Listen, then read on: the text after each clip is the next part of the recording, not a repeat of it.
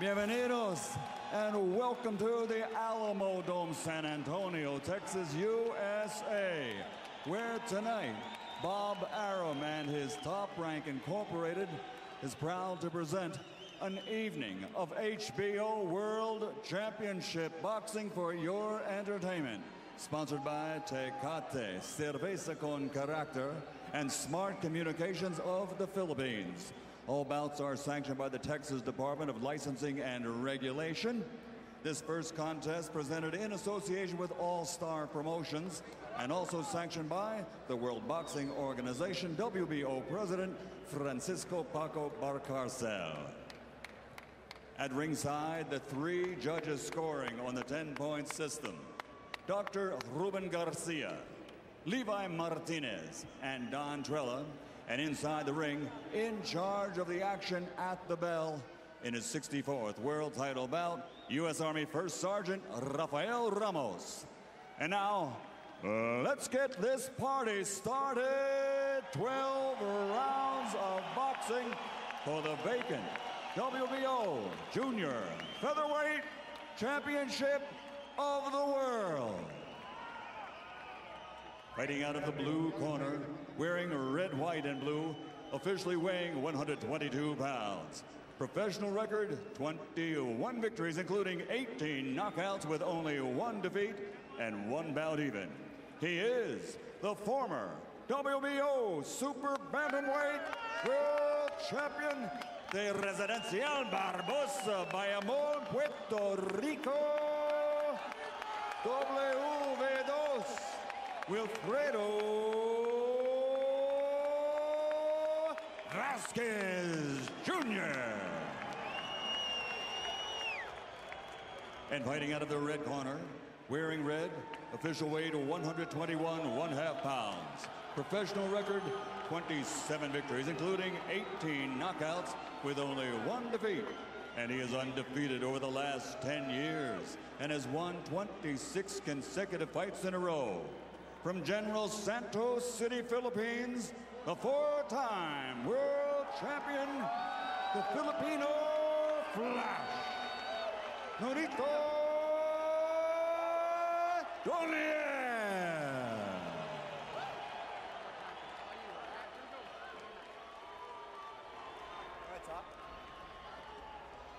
Okay, guys, you received that pre-fight instruction. Recibiste las instrucciones. Protect yourself at all time. Protégete todo el tiempo. Give me a clean fight, una pelea limpia. Okay, and remember, no one is more professional than I. Let's do it. Is Donaire capable of punching through one division after another, as Manny Pacquiao once did? Well, that depends. We need evidence. Yes, we, it depends on who's in the other corner. but he does have that ability, though, Larry. Well, we will find out. Back to the corner, Alekina. Until he does it, You he ready? hasn't Let's done do it. Round one begins. And you heard what Donaire said about wanting vengeance for what he saw as disrespect at the news conference. I don't care about the belt. I don't care about the money. I just want to knock him out. Well, everyone has talked about the height of Donaire and his ability to move up and weight because of it, but uh, maybe it's his stance, Emmanuel, but he doesn't show that he's any bigger than Vazquez right here. No, it, it seems to be this is probably where his weight is. But you know, Larry, it's so little difference between the weight division 122, 126. It's only four pounds. Unlike years back when it was like 126, next stop was 135. So to move from one division to another is really not that much nowadays. Measurements found Donaire to be five feet six and Wilfredo Vazquez Jr. five, five and a half. So officially there's only a half inch height difference between the two, and that's pretty much the way they look in there, I think.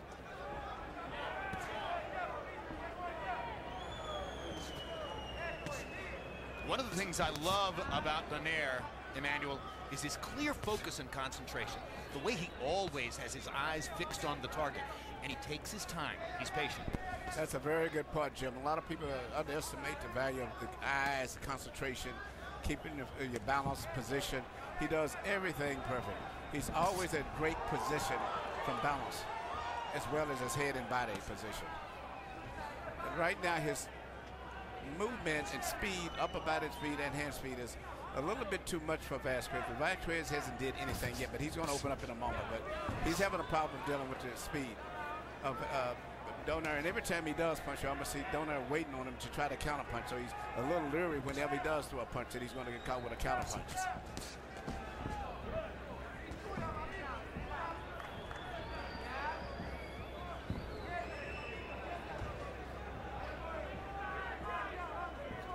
In terms of foot movement and stance, Donaire's in a boxing mode, but he's throwing punches like Sonny Liston.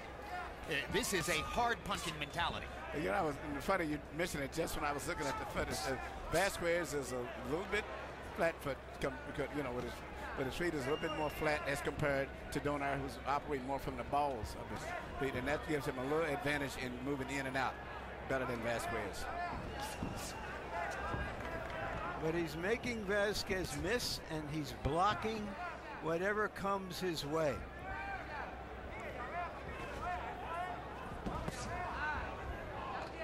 Left hook by Donaire. His best punch, or at least so it appeared against Montiel. This looks like the 13th round of the last fight.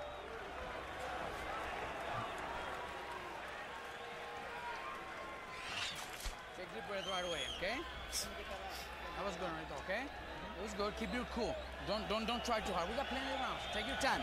He's gonna he's gonna fall into into his own his own his own trick his own trick, okay? He's trying to counter you. He's waiting for you to throw, and then he wants to throw after you. He's slower than you, so you're gonna catch him when he throws, all right? Just just keep your cool. Keep using that jab. Don't don't get too excited. We got 12 rounds, okay?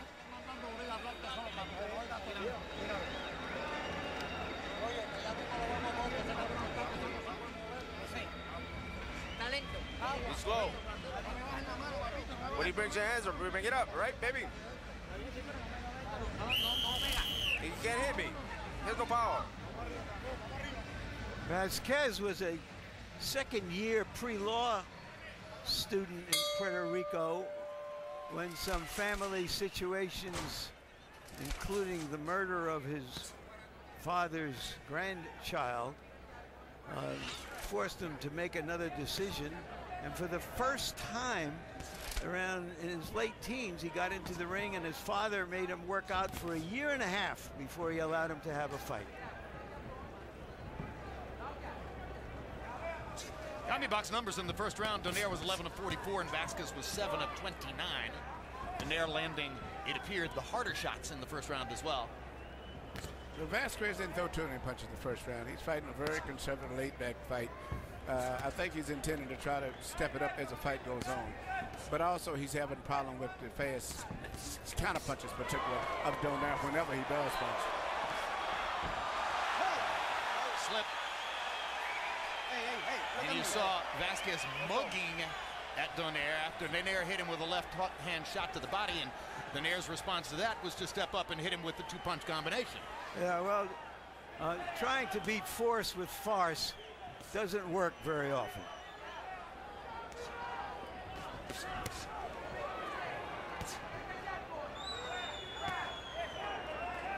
Vazquez starting to unfurl his jab. But so far throwing one punch at a time. Obviously trying not to open himself up to Donaire's combinations. Exactly, Joe.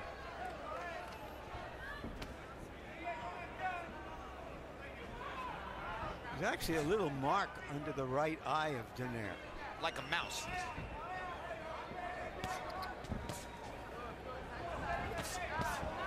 Another hard left-hand body shot. I haven't heard much about Donaire as a body puncher, Emmanuel, but he throws to the gut with passion. Yeah, he punches with accuracy and power with any punch that he delivers is very, very accurate. And, and, the thing right now, I think Vazquez, as he opens up more, which he's going to have to pretty soon because he's getting behind on points, he's going to leave himself open to get caught with power shots more. Donaire on the belt line with the body shot. You saw between rounds that he's trained by one of the rising prominent trainers in the sport, Robert Garcia out of Oxnard, California. Garcia wasn't going to become one of the most illustrious trainers in the sport with fading talents like Antonio Margarito, but with somebody like Donaire, he can make the kind of splash that, for instance, Freddie Roach has made with Manny Pacquiao. But I think he has don't he Ortiz also.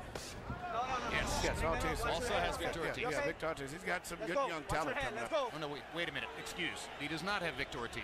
Victor Ortiz is trained by his brother Danny Garcia. He There has- was a family feud. there. Brandon, he has Brandon Rios. All right, yeah, that's right. He has Brandon Rios. Right, in right. I know he had another young And in fact, Donaire has sparred from time to time with Brandon Rios. There's Rachel Donaire, wife of Nonito. And when we talk about the altercation between the two at the news conference, Wilfredo Vazquez Jr. told me that had to do with some Twitter exchanges involving both Donaire's wife and his own wife. It's, it's just a matter of rounds. Another implication of Twitter. Make a mistake, Yeah, you you know, it's land, okay? interesting You're already landing, you're how already so the many of the boxers' wives and girlfriends has got to be such a big part of our broadcast nowadays. The brave new world. Papito. ¿Me estás escuchando? No lo salude, que esto no, esto no es amistad aquí. Papito, mete esa recta al techo. La próxima vez que te se la mete. to the chest. Oye. Hey, listen, keep your guard up so you don't get hit. Okay? You good? Okay. Vamos arriba, con ánimo. CompuBox numbers in the second round, Donaire 20 of 58, including 14 connected power shots. Vazquez 9 out of 32. So in the first two rounds, Vazquez has not really made the effort to be on the same page with Donaire in terms of punches thrown and landed. He's waiting.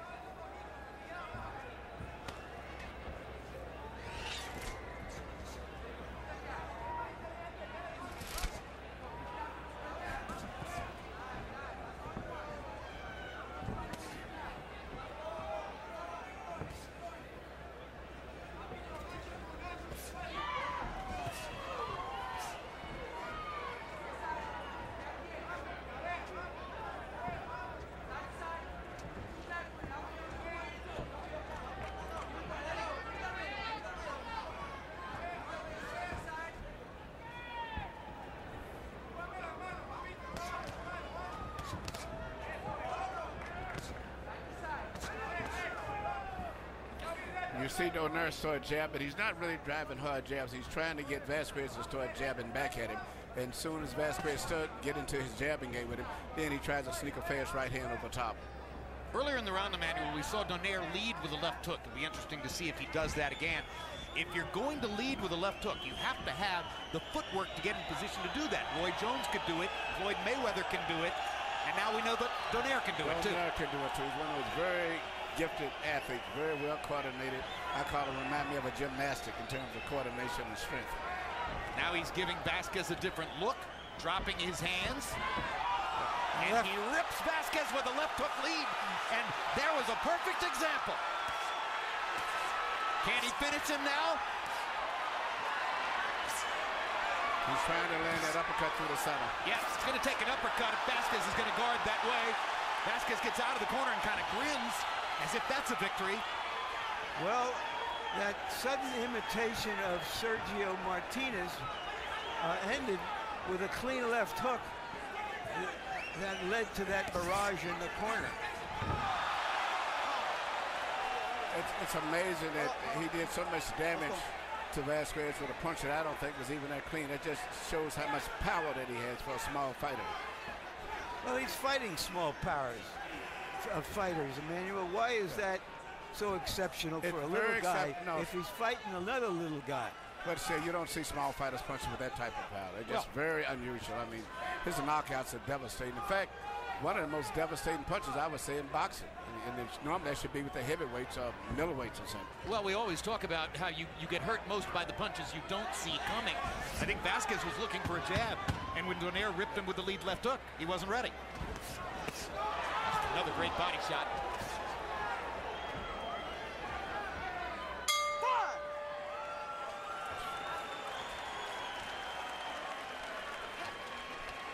People that enjoys what he's doing, okay? Okay? when you hurt him, don't get too wild, don't get too crazy.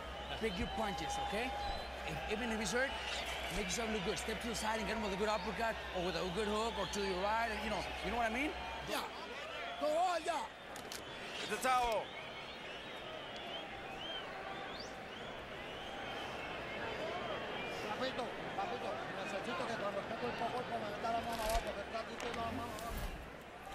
Here you see the left hook that, that hurt Vazquez, and as you can see, it was very difficult Please. for Vazquez even to see where the punch was coming from, and it wasn't really even a clean blow. It was well, it came over his glove. Yeah, that's uh, right. Landed, landed on top on the side of his head. That's just a demonstration of the tremendous power that he has. How can you generate that much power off that particular stance? Because he springs from his leg, uses his full balance and, and, and with it from his legs. Same way that Naseem Hamed used to punch. Yeah, that was a little bit like Prince Naseem. Donaire 14 out of 40 in that round. Vazquez 3 out of 25. Harold, how do you have it through three? Okay, Jim, I got a 3 to nothing, 30 to 26. Nonito Donaire. Jim, I gave him an extra point in round three when he almost knocked out Vazquez. But I got to tell you, I ain't seen a top-notch fighter fall for a feint like that in a long time. I mean, he did a monkey imitation, and then he hit him with a bullshit left hook from God knows where. And, and Vazquez fell for it and almost got knocked out. I mean, it's unbelievable the power that this kid's got. First two rounds, Donaire won easy because Vazquez is not doing nothing. Three to nothing, no Nito Donaire.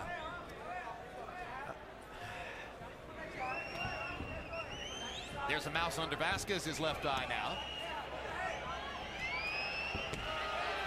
Vazquez is starting to land his jab as Donaire acknowledges by nodding at him. Well, Donaire, it, he gives off the vibe that he really wants uh, to make uh, a statement impression here. And I think that Vazquez gets the vibe and trying to figure out how to counter it and deal with it. I mean, the way he's lowering his hands here insolently, as though inviting Alvarez to try something. Vazquez. Vazquez, sorry. These uppercuts are short, tight, and hard. Yes, it's you know, the more that Vazquez starts opening up and punching back, the more he's going to get caught. Even when he lands a punch, he doesn't land with the authority or the speed that Donaire lands his punches with. Donaire holding the right glove open as though to parry That's Vazquez's exactly what he's doing. Yes, he's trying to parry and then counterpunch with the same hand that he parries with sometimes. And it takes great coordination to be able to do that. Showing off his head movement.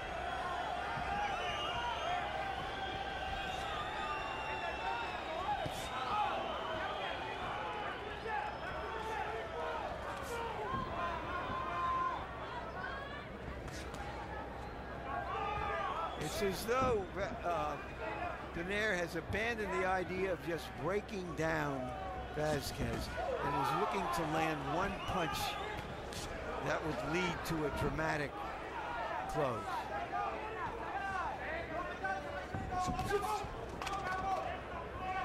Double jab, right cross combination from Donaire. So fast. Vazquez, pretty good fighter, keeps sticking that jab in there. Getting a little bit more resolute in this round after having been out of the first three, but it's another left hook from Donaire. Nonito Donaire was nine years old when he was brought from General Santos City in the Philippines to the United States. Yesterday, he spoke to us about the difficulty of his genesis as a Filipino American. He says he was an awkward kid. He was one of those kids that just had to be picked on. You know, my ears were huge as, as, as, as anything. You know, my tooth was as big as a beaver. You know, you know, it was everything that anyone and anything. So I was kind of like the fat kid in, in the playground. The, the fat kid? Is, is what, what we call it. In the sense that you were picked on. the target. Yeah. You were the target. I was the target, and I was never picked because I was scrawny. You were never picked for games or? Never picked for games, um, but mostly I was mainly mainly the target. You know, Were you people. bullied around? I was bullied around. I'd go home crying every time. I'd go home and, and say, you know, why am I living? He's living so we can choose him for our boxing team. 59 out of 179 in the first four rounds, 29 out of 119 for Vazquez in power connects so far. And we spoke to you before the fight about Donaire's move to more power punching. He's landed 43 power punches in the fight, Emmanuel, to so far only five for Vazquez, who hasn't really tried many. I am very, very impressed by his performance tonight. He's fighting a perfect fight with a fighter of Vazquez's ability because Vazquez has a good defense, he's very patient, but he's